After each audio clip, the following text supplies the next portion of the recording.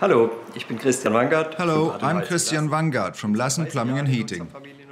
I've been working in our family business for 30 years. Today I'd like to show you how I can use the Thermal Imager Testo 870 to make my daily job easier.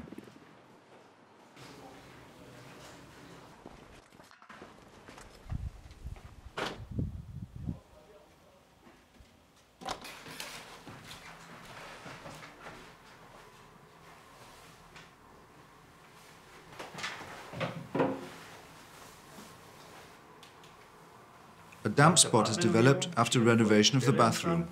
The surface of the wall is distorted.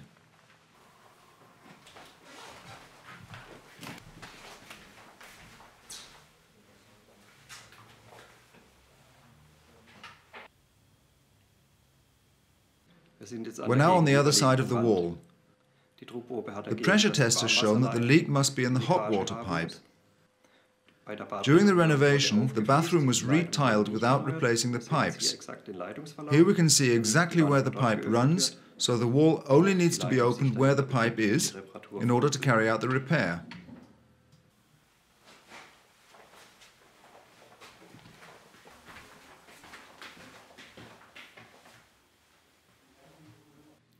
The customer would like to enlarge the shower cabin. We have underfloor heating right in front of it. You can clearly see here that the underfloor heating runs directly along the edge of the shower cabin.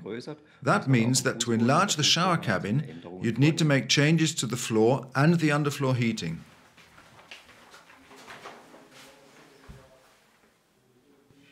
The customer has complained that his radiator isn't heating through properly, and I'm now checking the flow and return temperature. And you can clearly see that the temperature difference between flow and return is 20 degrees Celsius. At the present outdoor temperatures, however, it shouldn't be more than 5 to 10 degrees. This means that the hydraulic balancing in the house is incorrect and needs to be looked at.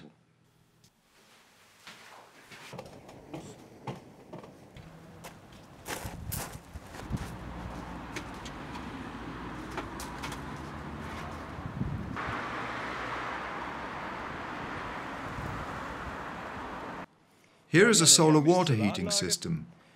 These are tube collectors and using the thermal imager you can very quickly check whether they are all in working order. We can see that the outermost tube is defective and needs replacing. As you've seen, the Thermal Imager Testo 870 provides a very quick way of finding faults and identifying energy losses. This increases my employees' productivity and helps us to provide our customers with competent advice. Und man kann dem Kunden kompetent die Sachlage darlegen.